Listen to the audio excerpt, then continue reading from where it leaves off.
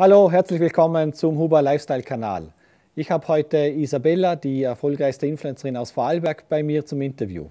Freut mich, dass du hier bist, Isabella. Vielen Dank für die Einladung. Du bist ziemlich erfolgreich äh, auf Instagram unterwegs und kannst uns sagen, wieso die Anfänge waren und wie du dazu gekommen bist. Seit 2015 bin ich auf Instagram, habe da nicht viel gepostet, habe da einfach nur meine engsten Freunde dabei gehabt.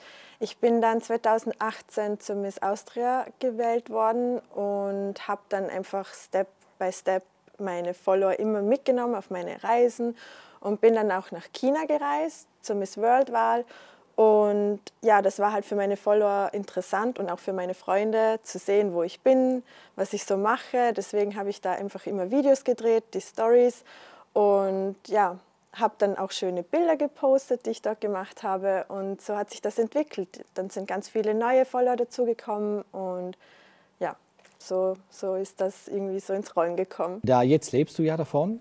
Ähm, wie ist das jetzt bei dir?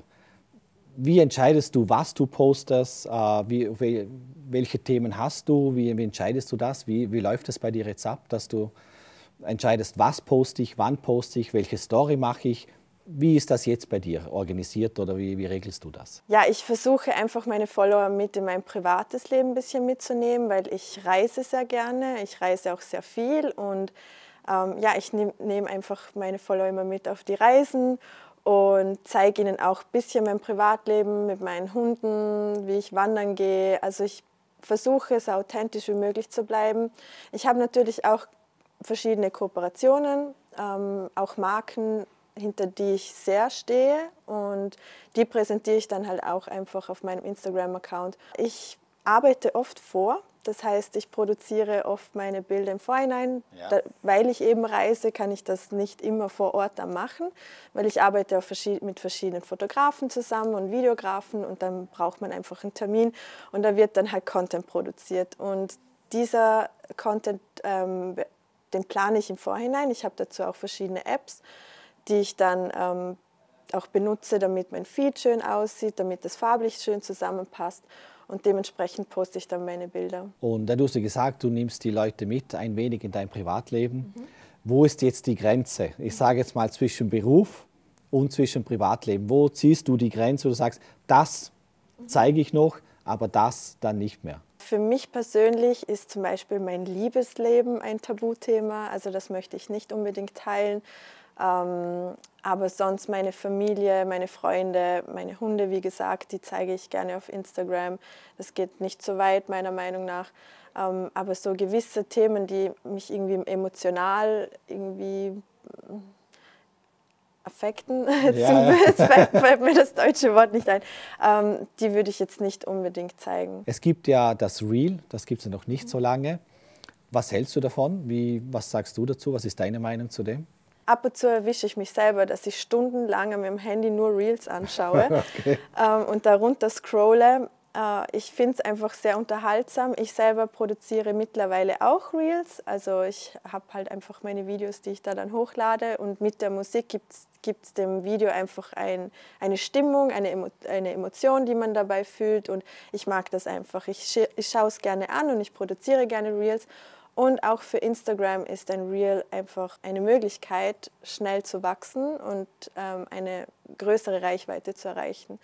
Weil oft diese Reels dann ziemlich viral gehen. Wenn's, wenn man ein cooles Reel macht, dann kann es sein, dass das einfach 100.000 Leute anschauen und dir dann dementsprechend danach folgen. Hast du ein Reel, wo du gerade sagst, das ist mein Liebling oder, oder äh das hat mich geflasht. Dadurch, dass ich gerne reise, mag ich die ähm, Landschaftsreels so gerne. Also Ehrlich? wenn man, ja, das vermutet man jetzt wahrscheinlich nicht, ähm, aber wenn man wenn irgendwie eine schöne Musik und ja, einen schönen Sonnenuntergang oder ich, ich weiß nicht, mich, mich catcht das dann immer.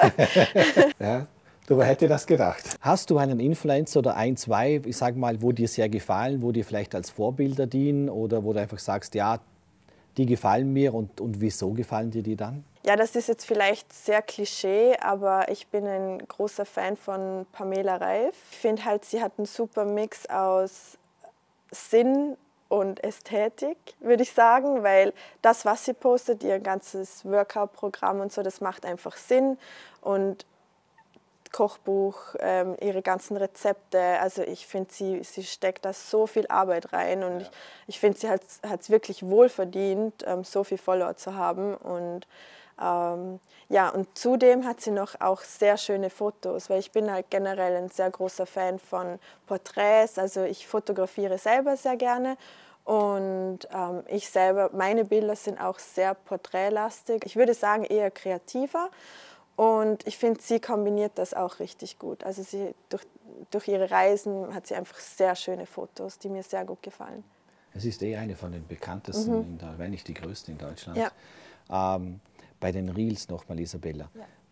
Machst du die selber? Hinterlegst du die selber mit der Musik oder, oder machst du das in Kooperation mit einem Videograf? Wie, wie läuft das bei dir? Hauptsächlich mache ich das selber. Ich habe einen guten Freund, der, oft, der auch Videograf ist, hauptberuflich, und mit dem mache ich dann oft zu, zum Spaß verschiedene Projekte. Und ja, die Reels sind dann auch sehr professionell und schön.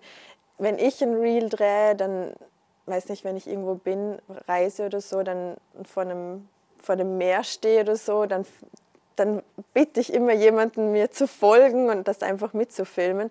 Und dann mit der Musik darunter sieht das dann halt auch ganz schön aus. Aber du machst du wirklich noch viel, ich sage mal selber, und dir ist wirklich die Qualität auch sehr wichtig ja. in dem Sinn, oder? Ja, also ich mache eigentlich fast alles selber. Wenn es um Schneiden geht, Bilder bearbeiten, mein Feed planen, ich mache eigentlich wirklich alles selber. Ja. Der Winkelkalender ist sicher gut gefüllt. Ja, auf jeden Fall. Ja, viele Menschen unterschätzen das. Man denkt immer, ähm, Instagram-Influencer ist einfach keine Arbeit, ähm, aber es steckt so viel im Background dahinter und man muss, man muss so viel daran arbeiten und ja, da geht einfach viel Zeit. ja, und es ist ein Job, oder? Ja, das ist so. Eben. Vor allem, wenn man erfolgreich sein will. Genau. Ähm, du hast ja die letzten ein, zwei Jahre hast du einen massiven Aufschwung mhm. erlebt. Kannst du mir sagen, was denkst du sind die Gründe dafür, dass du so einen massiven Aufschwung erlebt hast die letzten ein, zwei Jahre? Ich war einfach konstant dran. Also ich habe wirklich darauf geachtet, dass ich jeden zweiten Tag ein Bild hochlade, wenn nicht jeden Tag. Ähm, Stories müssen immer online sein, also selten, dass mal keine Story online ist. Mein Vorteil war halt auch dadurch, dass ich viel Porträtbilder hatte, habe, haben sehr viele andere Seiten meine Bilder gerepostet. Ah, okay. Deswegen hatte ich dann einfach so, das war dann, weiß nicht, so ein Dominoeffekt ja, einfach, ja. ja, weil meine Bilder dann überall waren, auf verschiedenen Seiten und die taggen mich natürlich dann die Leute und die kommen dann zurück auf mein Profil und deswegen glaube ich, war das so ein Push für mich. Ja, ja eben, da sieht man kontinuierlich, gute Arbeit genau. zahlt sich aus. Mhm. Isabel, du machst es schon so lange, da gibt es sicher eine interessante Story oder eine interessante Begegnung, wo du sagst, hey, das, das möchte ich den Leuten auch zukommen lassen. Natürlich habe ich auch durch meine Reisen und alles, was ich bisher gemacht habe, habe, habe, könnte ich ewig erzählen, was, was ich da alles so erlebe. Ähm, aber generell durch Instagram ist echt ab und zu verrückt, wie schnell man Leute kennenlernt und von, natürlich aus der ganzen Welt. Und ja, ich habe auch schon sehr viele Nachrichten von verschiedenen Prominenten bekommen. Dadurch, dass ich ein verifiziertes Konto habe, ähm, falle ich, glaube eher auf. Und deswegen zum Beispiel, ich kann ein paar Namen nennen, Neymar zum Beispiel, der Fußballer, mit dem habe ich schon geschrieben. Oder äh, ja, verschiedene Schauspieler, ich weiß jetzt seinen Namen nicht mehr, aber ähm, Draco Malfoy von Harry Potter kennt ah, bestimmt ja, klar, jeder. Ja. Der Schauspieler hat mich auch schon angeschrieben. Also ab und zu ist echt verrückt, wie schnell man da in Kontakt tritt mit verschiedenen Menschen, ja, die man sonst nie treffen würde wahrscheinlich vom Ländle in, in Bregenz kommt man schwer sonst ja. zu Neymar, aber eben du hast das, ich sage jetzt mal, erlebt. Mhm. Das ist auch eine schöne Story. ja. ja. Du Isabel, ich sage dir danke für das nette Interview, auch dass du ein, zwei Insights gegeben hast. Wirklich nochmal danke und das war sehr, sehr informativ. Ja, vielen Dank für die Einladung nochmal und ja, ich wünsche euch alles Gute und bis zum nächsten Mal. Wenn es euch gefallen hat, lasst uns ein Like da, abonniert uns. Bis zum nächsten Mal. Ciao.